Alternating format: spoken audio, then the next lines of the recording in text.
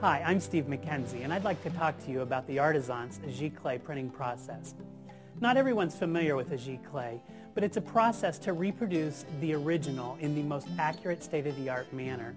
It's widely accepted by museums and auction houses today. Let's take a look at the Artaissance process of printing Giclées.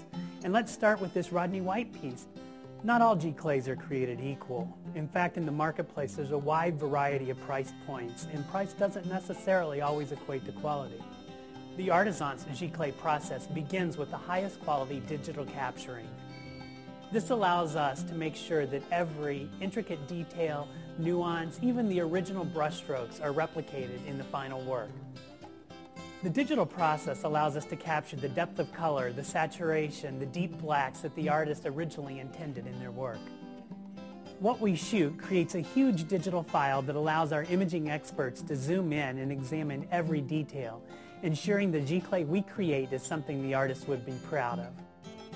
Once the image is perfect, we're ready to print. At Artaissance, we use the highest grade, most sophisticated Giclée printers available today.